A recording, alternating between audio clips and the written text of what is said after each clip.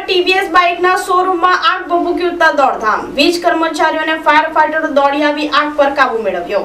Vapi highway ઉપર આવેલ એક ટીવીએસ કંપનીના બાઇકના શોરૂમમાં ગમે કારણસર આગ ભભૂકી ઉઠી હતી આગ લાગતાની સાથે શોરૂમ બહાર ધુમાડાના ગોટે ગોટા નીકળતા જોઈને આસપાસમાં આવેલ દુકાન સંચાલકોને રસ્તા ઉપરથી પસાર થતા વાહન ચાલકોમાં દોડધામ મચી ગઈ હતી સ્થાનિક લોકોએ તાત્કાલિક ઘટનાની જાણ વાપી નગરપાલિકા ફાયર વિભાગ અને જીઆઈડીસી ફાયર વિભાગ અને વાપી પોલીસને ઘટનાની જાણ કરી હતી આગની ઘટનાની જાણ થતાં વાપી નગરપાલિકા અને જીઆઈડીસી ફાયર વિભાગની ટીમ તાત્કાલિક ઘટના સ્થળે પહોંચી આગ ઉપર કાબુ મેળવવાના પ્રયાસો હાથ ધર્યા હતા ઘટનાની જાણ વીજ કંપનીની ટીમને થતાં વીજ કંપનીના અધિકારીઓ સ્થળ પર દોડી આવ્યા હતા અને પાવર સપ્લાય બંધ કરી આગળની કાર્યવાહી હાથ ધરી હતી ઘટનામાં શોરૂમ રાત્રે બંધ હોવાથી જાનહાનિ ન થઈ હોવાનું પ્રાથમિક સૂત્રો પાસેથી જાણવા મળ્યું હતું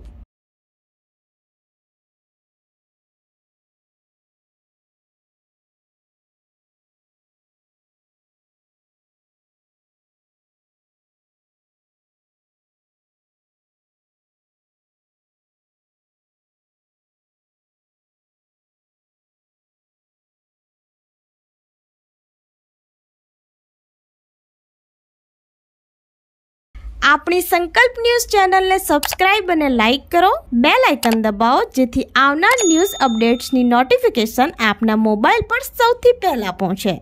Like, subscribe and share the video.